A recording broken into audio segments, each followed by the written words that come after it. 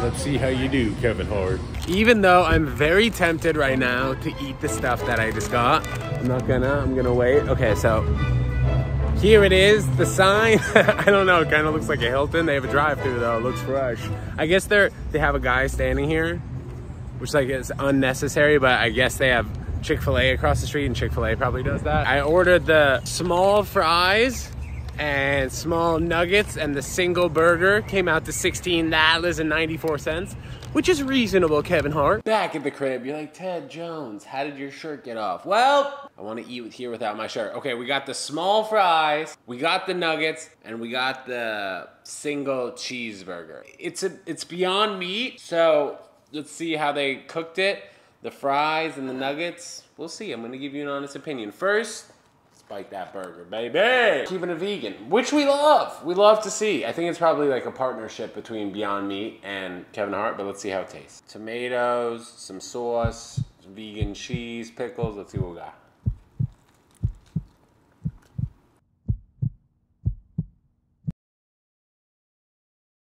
Okay, burger, very good. French fry. Authentic, no ketchup, no nothing.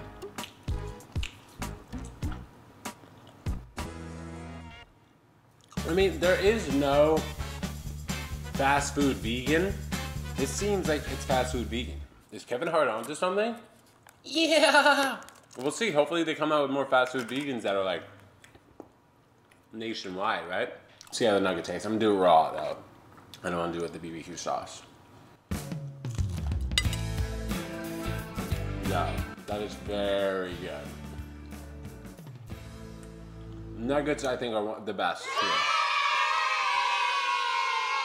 Yeah, they are. Stop. Why do you care about that? That's happened multiple times. The door slams because of the wind, and he gets so What nervous. about the time that there's someone in the house? Well, it's just that when it comes to that. Oh park hard. This Exactly. is the best reality show to watch. Yeah. Hart House is also a great name for a restaurant. I will say, bravo, Kevin Hart, man. I think the concept is terrific. We're gonna go through each of these items that I just had line by line, okay? French fries. We're gonna give the French fries here an 8.4. Clap it up for the French fries. Solid, good French fries. Uh, maybe a little salty, a little soggy, but when you're dealing with a fast food restaurant, that's great. 8.4, we're saying. The burger, right after that Beyond Burger, tasted good. The signature sauce, we're gonna be giving the burger an 8.6. Shout out to the burger, Kevin Hart, single base, uh, plant-based burger. And then coming in first place, we had the nuggets. As you guys can see, I did clear my plate there. Schuster, you wanna zoom in, show them? I sucked it down clean, I tell you that. The nuggets, we're going to give the Nuggets, da-da-da-da-da-da, not the Denver Nuggets, even though they did win the NBA Finals. but Kevin Hart's Nuggets, plant-based Nuggets, we're gonna be giving them an 8.75. Great meal.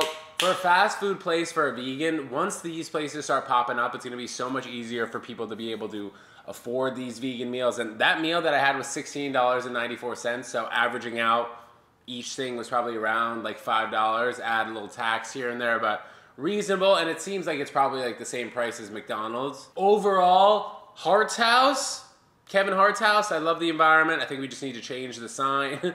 But we're gonna give hart house an 8.7 clap it up. 8.7 great review. Kevin hart good job. And all you other influencers and celebrities out there try and do your best to make your imprint.